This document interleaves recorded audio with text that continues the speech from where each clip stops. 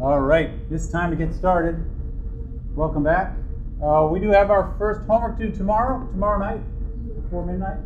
Um, check it out and send it in on Gradescope. Please let me know if you have problems with the Gradescope. I hope that everything's fine. I've already gotten some submissions, so thank you to you overachievers out there. There's no bonus for doing it early.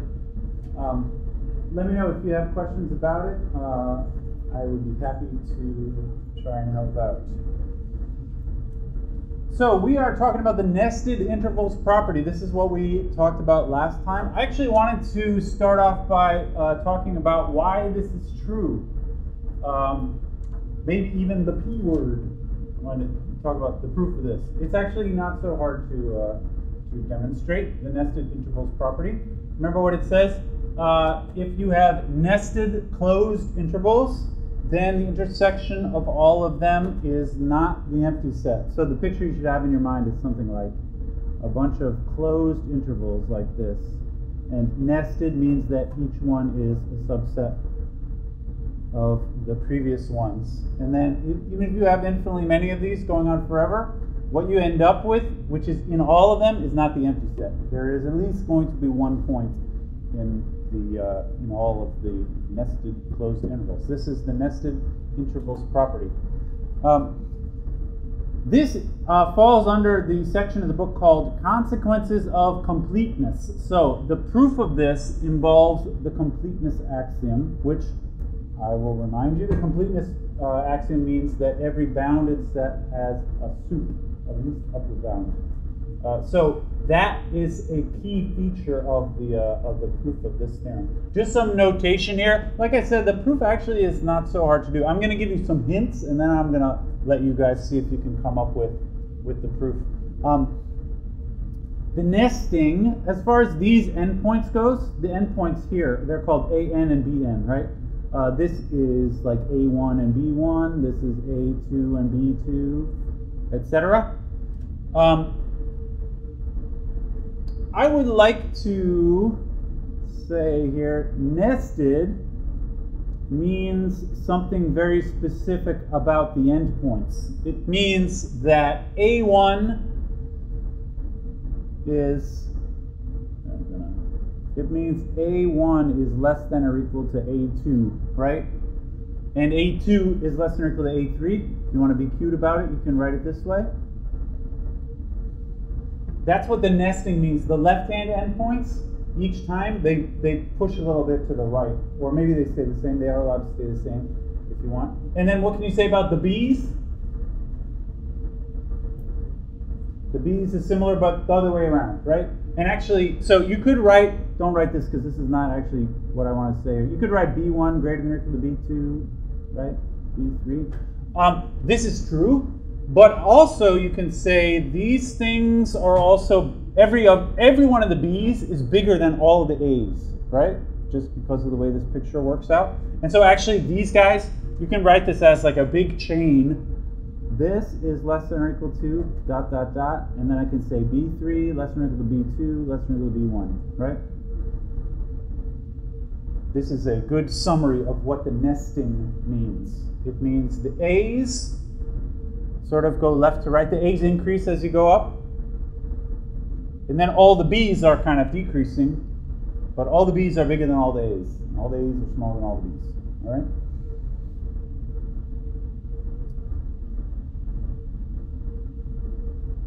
So let's see if we can do, I want to do a proof. And like I said, once you have the basic idea, this is not so hard to do. Proof of the nested intervals property.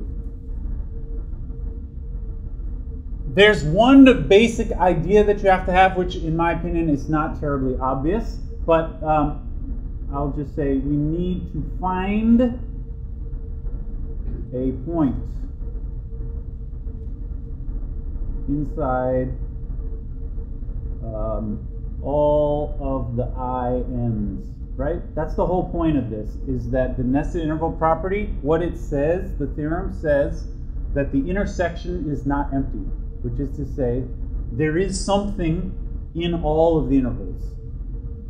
That's what it means for the intersection to be non-empty. We need to find a point which is inside all of the INs. And Uh, our main tool, this is my first hint, our main tool is the completeness axiom. So we will use the axiom of completeness. I'll put this sort of as a sidebar. We'll use the axiom of completeness, which says any bounded set has a sup. All right. What's what's kind of difficult about this, getting started at least, is, I mean, on the picture here, can you find a point on the picture which is in all of these? I would say, yeah, maybe like around there. That looks like a point which is going to be in all of them, right? But how did I get that point? I just I kind of looked at it and I, I drew a big I drew it extra big and I drew it red. Um, the problem with writing this as a proof is you have to somehow say what that point is. Your job is we need to find a point. Okay, what is the point that's in all of these? Um, I just kind of drew it. Why exactly did I draw it right there? Well, I had to make it so that it's to the right of all the A's and to the left of all the B's. I suppose maybe that's why I put it right there. Anybody have an idea of a specific point that you can say, which you know that this point exists, perhaps because of something I wrote in the sidebar there. I'm trying to cook up a specific point out of nowhere. The axiom of completeness says that any bounded set has a sup. Any, any ideas? Can you think of a specific point?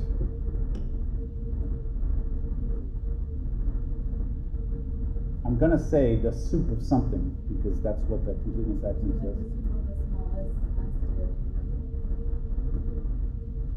The sup of the smallest of the intervals. This is a good idea. Maybe. Uh, the smallest of the intervals will, will be like way down here. Pretty small, right? Yeah, the problem with that is there there is no smallest really. These there's infinitely many of them, and they continue to get smaller, probably at least. Another idea? How about the sup of the A's? This is exactly what I was going to say. The A's make a set of points, right? I could, if I just consider the A's, now I would have also accepted the inf of the B's, but it doesn't matter. Um, since I'm talking about the sup in the axiom of completeness, the sup of the A's is what I want. These A's, they make a set. If I drew them all, say, on the same line, it would be like this, right? And they must have a sup And if you believe the picture, that sup better be in all of the intervals. Although that, we have to explain exactly why that's true. But this is the basic idea to get started. So I'm going to consider, I will just say, let, I'll call it A, be the sup of all the ANs. All right? And our job now, so this is true, uh, or this exists. I'll just say this exists by the axiom of completeness. If you didn't have the axiom of completeness, there would be no way to say exactly what that point should be. Maybe you could use the word lim if you like calculus. So you just take the limit of the a's rather than the sup of the a's. The problem with taking the limit of the a's is there's no guarantee they converge. When you talk about limits, you have to worry about well, first of all, what does lim even mean? But a more deeper question, there's no guarantee that the A's converge. This exists by the axiom of completeness. Now, the axiom of completeness says any bounded set has a sup. Does anybody, if you're going to use the completeness axiom here, this set must be bounded, the ANs. Can anybody say, is that set definitely bounded? Bounded, remember, means there's some numbers that, some number bigger than all the ANs. That's, that's what bounded means. Um, AN is bounded above. That says bounded. Bounded above. So it is it is appropriate to use the axiom of completeness. Can anyone, we can actually be very specific. Can anyone say? Give me an upper bound for the ANs. Yeah? B. What do you mean by B? Where what is B? I haven't actually said a B anywhere. I said A is the sup of the A's. It's a, it's a maybe dumber answer, easier answer. Uh, Inf of the B's, you could, that's too complicated. There's a dumber answer than that. B1, yeah, that's this one. All right, this is definitely an upper bound for all the A's. I think you are trying to be fancier than you had to be. Yeah. an is bounded above by b1, right? And so you can use the axiom of completeness in that step. All right, great. Okay, so the remainder of the proof is we'll show that um, A is uh, is in this intersection, right? That's the point of the axiom of completeness. Is that there is a point in the intersection of all of the intervals. And this, now I don't know if you if you like dealing with infinite intersections like this, this is a little intimidating to look at. But really all that means is in order to be in this infinite sequence, uh, infinite intersection, it's enough to show that A is in between an and bn for every n, right? That's that's the same as saying it's in the whole intersection. Is that it's squeezed in between those endpoints, in, in between all of them. That means that it is in all the intervals, right? A is in between an and bn for every n. And from here, I said I was going to give you a hint and then let you guys try and do the rest. This is where I will leave it in your capable hands. So there's really two parts to proof here. So I'm going to say part one is to show x, x, I called it x on my paper. So first, show a is greater than or equal to an for each n. Or how about I'll, I'll just say, before any of this, I'm going to say let n be a natural number. And then Step one is to show A is bigger than AN, and then step two is to show B, uh, A is less than or equal to BN. All right? And these two steps involve the fact that A is the sup. That's all you know about A. The only thing which you can ever use about A is that A is the sup of the ANs. So the sup, of course, means least upper bound. I will tell you as another hint one of these you use upper bound, and the other you use least.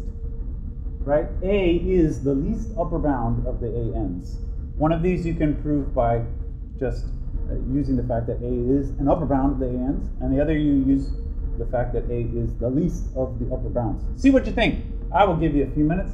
Maybe I'll walk around and try and inspire you, and we'll talk about it.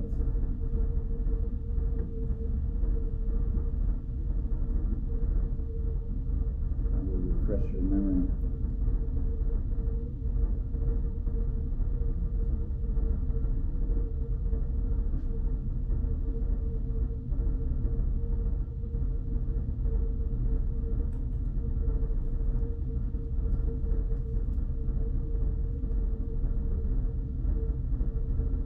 Remember, all these numbers, A's and B's, they have this relationship. I put the A right in the middle there.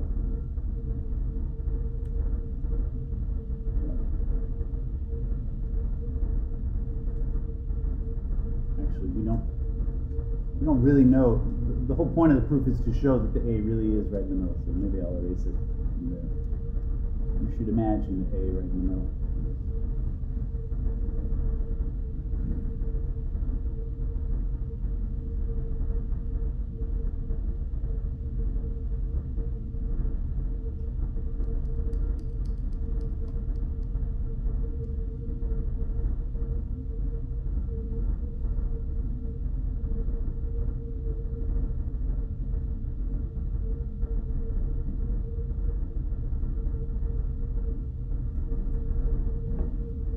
What we know is A is the least upper bound of the ANs. That's what you have to base your arguments on.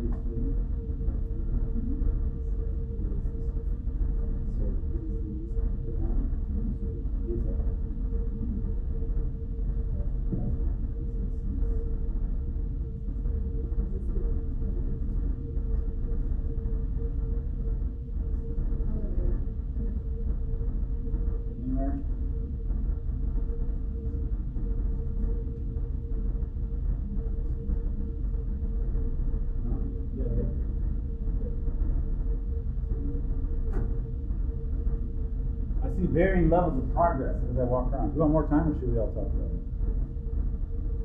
Let's talk about it. Um, I saw some folks figure out the uh, the first part. I don't know about the second part. Maybe nobody got that far. I don't know. Um, show first of all, we have to show that a is bigger than a n's. And remember, what we are assuming is this: a is the least upper bound of the a. That's the definition of a. It's the sup of the a. All right. So how do you know that a is bigger than one of the particular a n's? Well, it's because a is an upper bound, uh, right? In fact, it is the least upper bound. But um, I will say since a is an upper bound,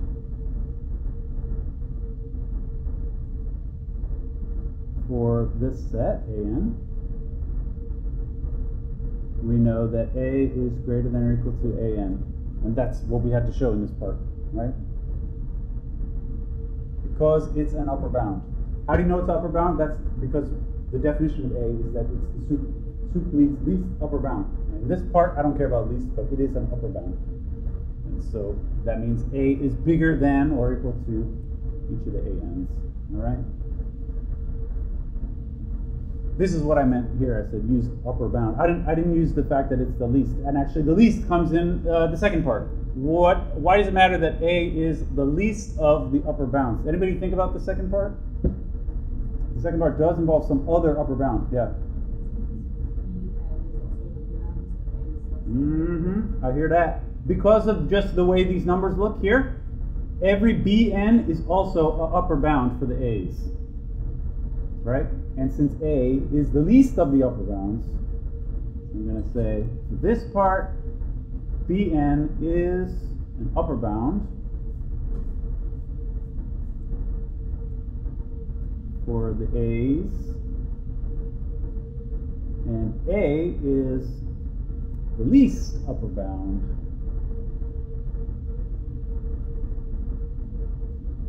so that means a is less than or equal to Bn. Bn is some other upper bound. A is the least, and so A has to be lesser than the Bn. And that's it. Put a nice big tune on there. All right. Yes. Yeah.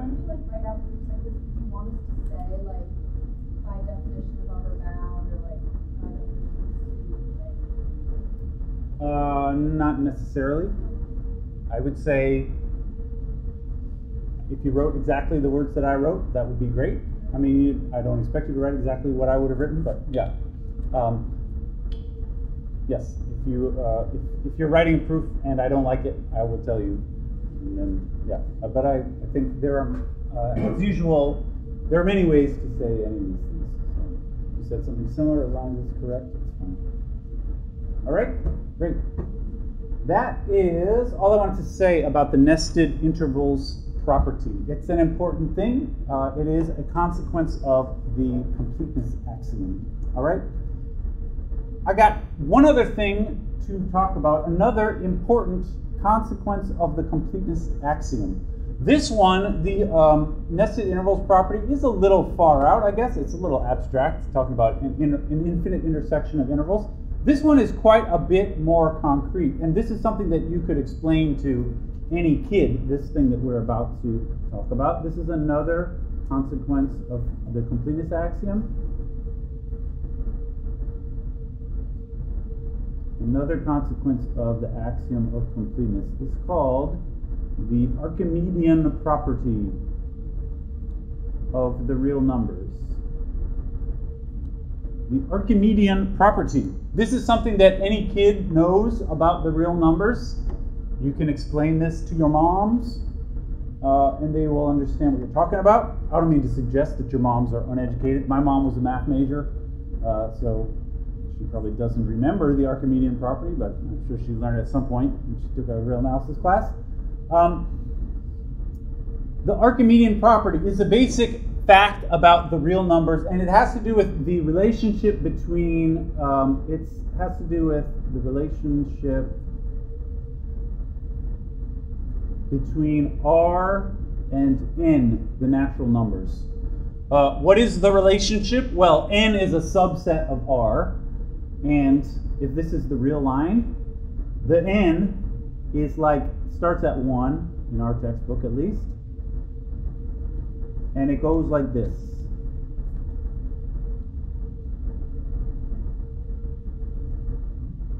Etc. If someone asked me, what exactly, uh, how would you describe the natural numbers inside the real numbers? I would say it's like that. They're kind of, they go one after another, they're kind of spread out like that, and they go on forever. The natural numbers inside the real numbers, they do not bunch up at any particular point. Uh, they go on forever and they are evenly spaced. Actually, the Archimedean property is not about evenly spaced, but it is about the fact that they go on forever. Um, I will, uh, I'll, I'll write the statement of the Archimedean property. Actually, there's, I'm going to talk about two versions. There's what I will call the big version and the small version. This is the, this picture has to do with the big version, which is basically that the natural numbers go on forever and they get really big just right alongside the real numbers getting really big. So I'm going to say this is the Archimedean property. This is kind of the original uh, version of the Archimedean property as, as articulated by Archimedes. He actually did talk about this. Uh, the big version with modern language, it just says this. So when you think properly about this, you will decide this is totally obvious. For any x, a real number, there exists n, a natural number, with n greater than x.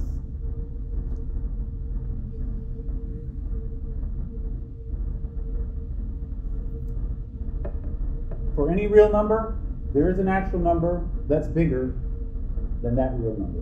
So think of any any real number you like, like uh, 1,503.7.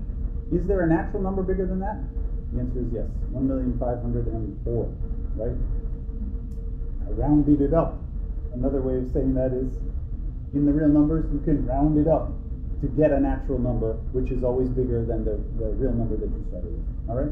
This is the Archimedean property big version. I call it the big version because it's really, this is about big numbers. It's about no matter how big the real number you choose, there's always a natural number that's a little bit bigger. All right?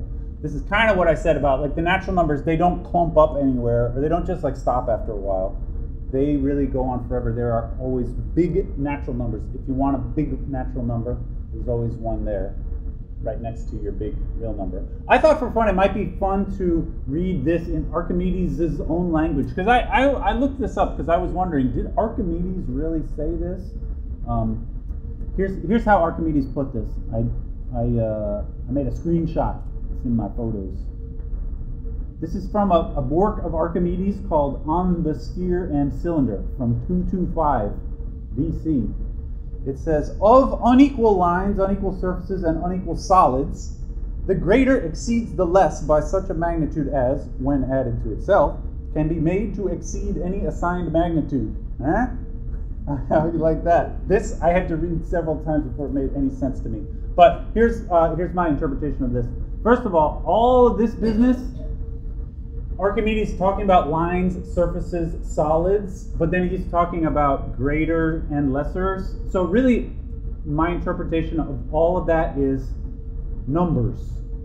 Remember the Greeks, when they thought about numbers, everything to them was geometric in, in terms. So any number was somehow representative of a specific length or area or volume or something like that. So when Archimedes says that, he's just talking about if any two numbers, the greater exceeds the less by such a magnitude as when added to itself can be made to exceed any assigned magnitude. So I think what he's saying is if you have any two numbers, the bigger one is bigger than the smaller one. And if you sort of uh, increase the scale enough, it can be as big as you want. The bigger one can be uh, as big as you want, which kind of means this somehow. Um, I think one way of saying this is I'm not really sure if, if I would call these the same idea. Although I think I'm not a historian, I'm not an expert on Archimedes, but I think the way that Archimedes uses this principle is, is similar to how we would describe that. Yeah.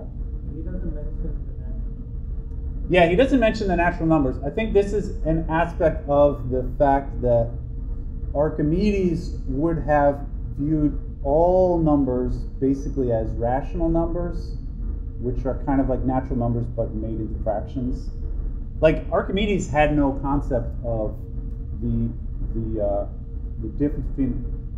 I mean, Archimedes didn't think of the real numbers in the way that we do, as like irrationals living together in harmony with rational numbers and all having distances which can be measured.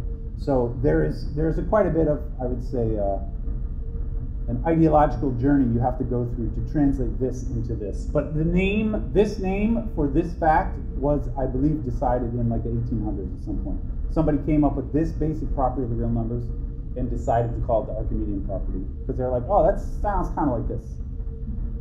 And I will leave it to you to think to decide how similar that really is.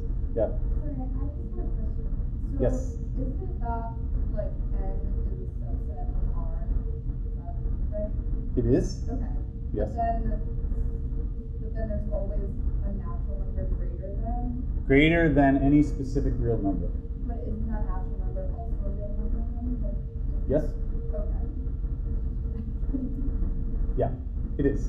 But um, yes, so you could say, maybe you're imagining, what if I said this, right? Instead, that? Because this is also true that if you have any big real number, you can always find an even bigger real number, right? But uh, that is less interesting I mean, it, it's not saying the same thing as what the Archimedean property is trying to say. Is it's telling you sort of like where are the natural numbers inside the real number line, and the answer is they are like evenly dispersed everywhere. They don't just go up to a certain point and then stop. Um, you could also um, the that's the point of this is answering this question: Where are the natural numbers situated inside of the real numbers? If you do the red version that would be an answer to the question of like where are the real numbers inside of the real numbers, which isn't even really a question. Yeah. All right, but I, I, hope you agree. This is this is a fact that everybody knows. That um, another way of saying this, which makes it sound even more obvious, I would say the real numbers. Um, I'll say it this way: no real numbers is bigger than every natural number. Right? Because um, that's what it says is no matter what real number you have, there's always a natural number that's bigger. The, the, uh, this is sort of like the contrapositive. There's no such thing as a real number that's bigger than every natural number. Right? No real number is bigger than every natural number. How do you like that? I used the number sign over here, but I wrote out the word number over here, and I used the fancy n over here, but I wrote out the word real over here can't be controlled. So, so there is a natural number that's bigger than every guy, but not but not. No, there's no. Basically, I'm trying to say like the opposite of what that's like, like, like real numbers are like in between the natural numbers. That's right.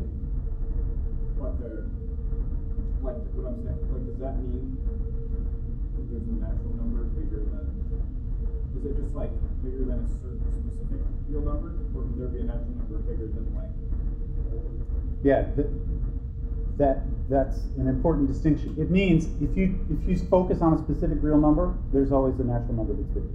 oh, But it's not true that there's some like one mother natural number that's bigger than every real number. That's not true. Oh. Yeah. Right. All right. No real number is bigger than every natural number. Actually, there's a, yet another way to say this, which is even more sort of basic in terms of our language. It's just uh, n, the set n, is not bounded above. Right? These are all equivalent ways of saying the Archimedean property, the big version. The natural numbers are not bounded above. That is to say, there is no real number that's bigger than every natural number. It's the same thing that I just wrote. Right? That's what it means to say n is not bounded above. All right, I want to see. We got time. We can do. Uh, I want to talk about why this is true. I mean, it, it sounds like an obvious fact, but uh, if you want to prove it, it turns out in order to prove this, you must use the completeness axiom. You cannot prove this using basic facts about numbers. It must involve the completeness axiom. So let's see if we can do this. Uh, this I'm going to write as my statement of the theorem. This is equivalent to that stuff that I said upstairs, up there about, um, you know, if x is any real number, then there exists n with n greater than x. Uh, this is an easier way to say it though. n is not bounded above. This is the Archimedean property, the big version. And then we'll, we'll talk about the small version after, uh, after this. So I want to do the proof of this. We will use the axiom of completeness because that's kind of our, our topic for these few days. All right, I want to show that the natural numbers are not bounded above. Uh, oftentimes, the way to show something is not whatever is a, a proof by contradiction. So that's how I want to do this. Let's assume that it is bounded above, and then we will somehow explain why that's not possible. So uh, I will begin like this. For the sake of a contradiction, I'm going to assume n, the natural numbers, is bounded above.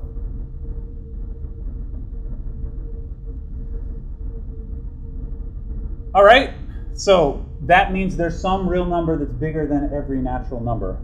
Now, um, in order to reach a contradiction, actually, I could I could give a, a name for this upper bound.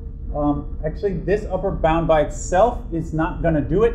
I intend to use the axiom of completeness, which remember says any set which is bounded above has a sup. We can use it immediately here to get a specific upper bound. If I assume that n is bounded above, then n has a sup. There is a least upper bound, which is a real number. Then by the axiom of completeness, n has a sup, which is a real number. And I'm going to call it uh, s, as I usually do. Sup of the natural numbers. This is a proof by contradiction. I would feel like a fool if a, if a uh, campus tour walked by right now and they see this let S equal the sup of n. What an idiot in there. Of course, n doesn't have a sup. This is because this is a proof by contradiction. You would not, don't say in public, let S equal the sup of n. Without that context, the context is important. All right? Um, so in particular, S is a real number, right? That's part of the axiom of completeness. The sup exists, and it is a real number. All right, so we have now a hypothetical real number that's bigger than every natural number. All right, and I want to derive contradiction from that. Um, I begin to feel like I'm having sort of a, a, playground discussion with the kids about infinity. I don't know if you ever talked about infinity on the playground with the other kids. I, I do from time to time. People talk about infinity. People talk about infinity plus one, this kind of thing. Um, you can imagine some, something like S here represents something like infinity. It's something which is bigger than all the other real numbers everybody knows infinity is not a number. It's like a concept, but you can't treat it like a number. But actually, as part of our proof by contradiction here, we have actually something which is allegedly a number, an actual number, which um, which uh, is kind of acting like infinity. So in this case, what with the uh, with the kids on the playground, you can you can actually think about what what would s plus one look like. Um, actually, in this example, it's a little more interesting to think about what would s minus one look like because S is supposed to be, you know, you have the natural numbers n, right? And S is the sup of those, which means it's supposed to be like the point on the right side of that set, which is as close as possible to the to the other things on that set. So if I consider S minus one, then very strange things begin to happen about what it, what is uh, well. Anyway, that's what I'm gonna I'm gonna go there. Uh, consider S minus one, which is also a real number, right? Because every real number you can subtract one and you get another real number.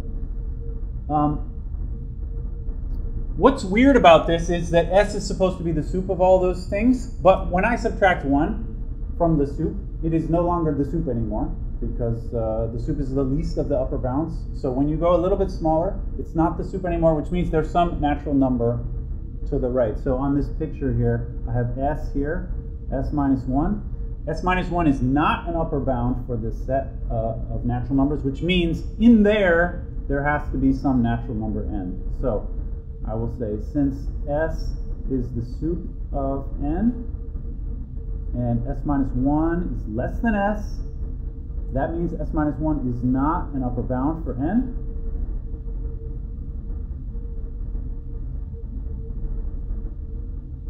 And so that means there is a natural number in between s minus 1 and s. Yeah. I don't get that. Because isn't one the smallest natural number? Subtract one, one would be a natural number of.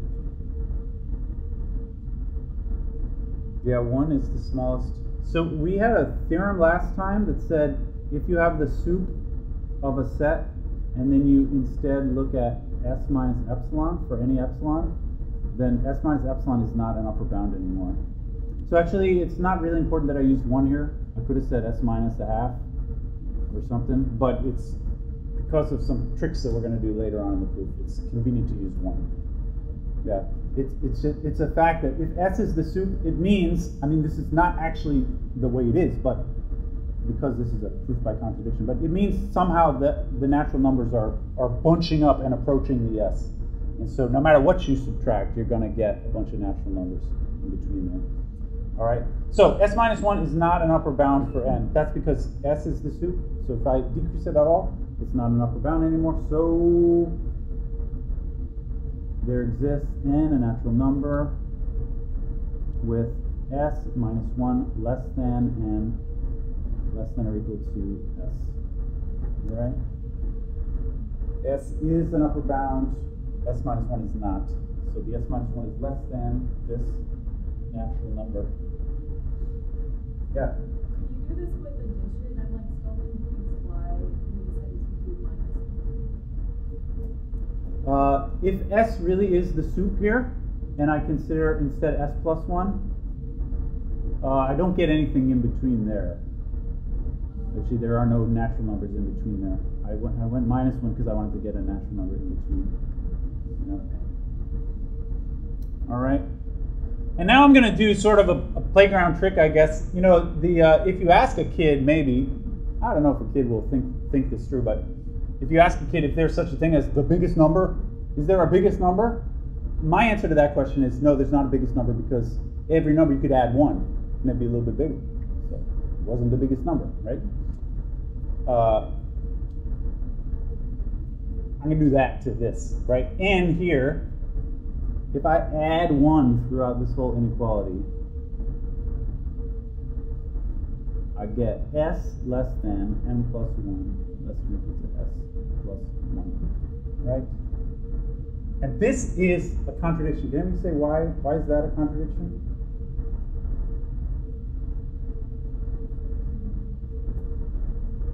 Yeah?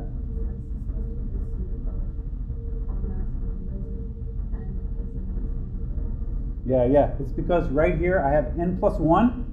n is a natural number. n plus 1 is also a natural number. This is a fact about the natural numbers. If you add 1 to a natural number, the answer is also a natural number. And, like she said, s was supposed to be the sup of all the natural numbers, but here we have s being less than a natural number. And that's the contradiction. So here, s is an upper bound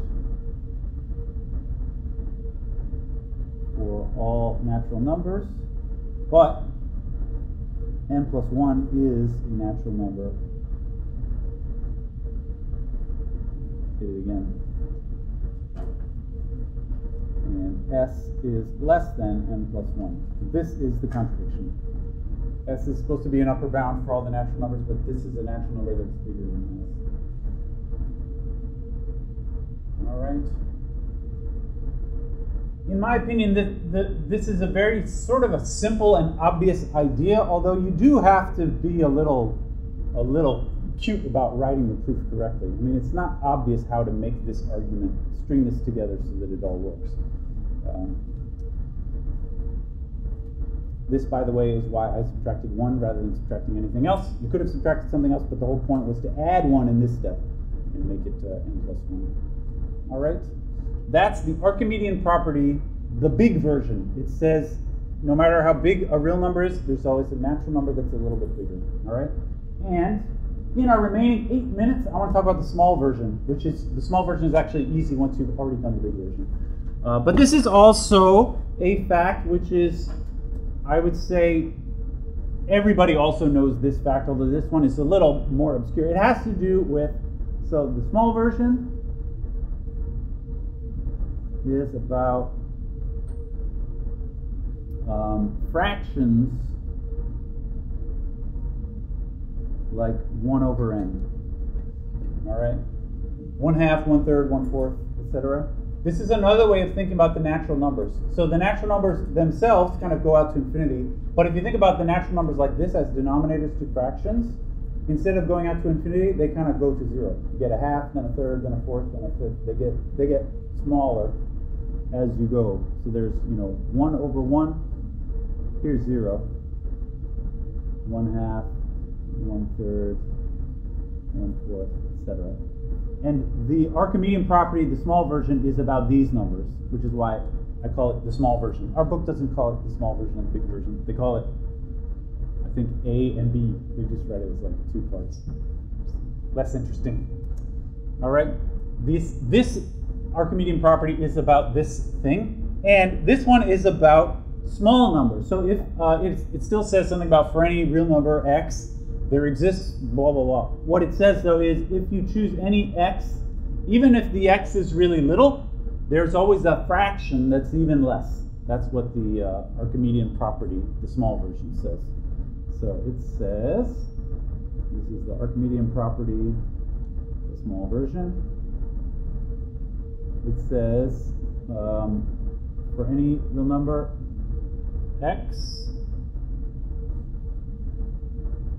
well, I'll say x greater than 0. I don't want to deal with going off to the left side of this picture. For any x greater than 0, you imagine x is small. This is only interesting if x is a really small number. There exists n in the natural numbers such that 1 over n is less than x. That's the small version. Right? So speaking informally, I would say the big version means no matter how big your number is, there's a natural number that's even bigger. The small version says no matter how small your number is, there's a natural number fraction, 1 over n, which is even smaller. That's what the small version says. All right? This also is, I think, an obvious fact that everybody knows, although maybe maybe a little less obvious. But, all right? Let's uh, let's do the proof. We got six minutes. This uh, this is actually quite easy if you've already done the proof of the big one. So we're just going to use the big one as part of this. So the proof. Here, I'll tell you the strategy first. Any any you could all do this on your own, but we've only got five minutes. Um, I'm going to say uh, take reciprocals of everything, and then use the big one. That's my advice. Because on this picture, if you just think what happens when you take the reciprocal of this picture, all these 1 over n's turn into n's. And th these red dots sort of bunching up at 0 just turn into red dots going off to the right forever, which is the same as the big version picture of the Archimedean property. So let's see if we can do this. I'm going to say let x be greater than 0, because that's what we start with. And I have to find some natural number such that 1 over n is less than x. All right? I'm going to take the reciprocal. Okay. Then 1 over x greater than 0. Is that true? Yes. If you have a positive number, you go 1 over that, it's also a positive number. And here, I can use the big version of the Archimedean property. Then, by the big version, there exists a natural number n such that. What does the big version say here?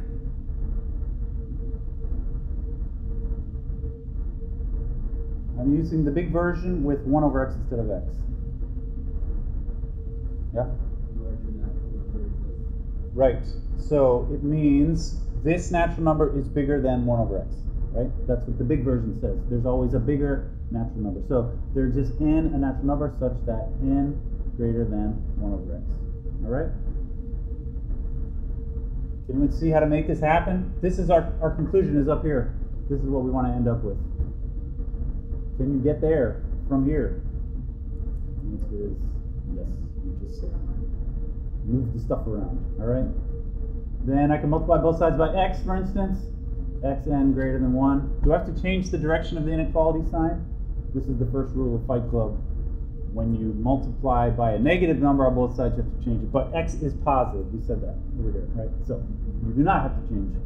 And then I divide both sides by n. x greater than 1 over n. That's what we needed to show, right? So this is just sort of playing some games. The, the big one is the one that requires a real proof. You could also prove the little one directly using the axiom of completeness, and then by reciprocals prove the big one starting from here. All right, that's the Archimedean property. I think we'll leave it at that.